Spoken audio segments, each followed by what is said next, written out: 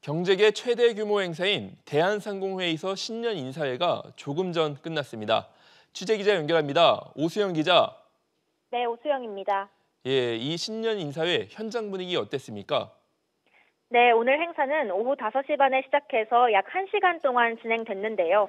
행사 시작 1시간 전부터 경제계 주요 인사들과 정부 고위 관료들이 차례로 현장에 도착해서 새해 인사를 나눴습니다. 오늘 행사에는 박용만 대한상인 회장을 비롯해서 경제계와 정관계 인사 1,300여 명이 모여서 경제위기 극복의 의지를 다졌습니다. 주요 기업에서는 윤북은 삼성전자 부회장, 공영훈 현대자동차 사장, 장동현 SK 사장과 권영수 주 LG 부회장 등이 참석했습니다.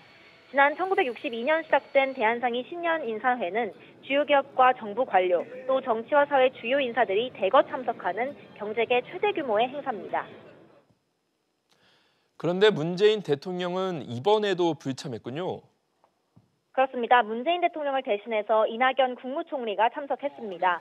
김상조 대통령 비서실 정책실장과 홍남기 경제부총리도 행사에 함께 했습니다. 문 대통령은 경제계 신년 인사회에 올해까지 3년 연속 불참했는데요. 현직 대통령의 연이은 불참은 문 대통령이 처음입니다. 이를 두고 일각에선 청와대가 경제계와 여전히 거리두기를 하고 있다는 해석도 나옵니다.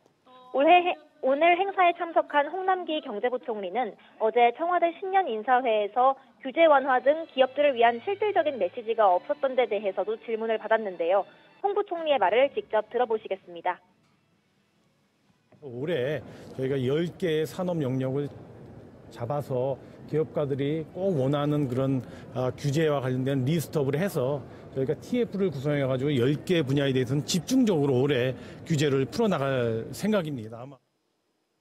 박용만 대한상의 회장도 오늘 인사말에서 산업을 대하는 근본을 바꾸는 수준의 대대적인 인식 전환과 법과 제도 개혁이 필요하다고 강조했습니다. SBS CNBC 오수영입니다.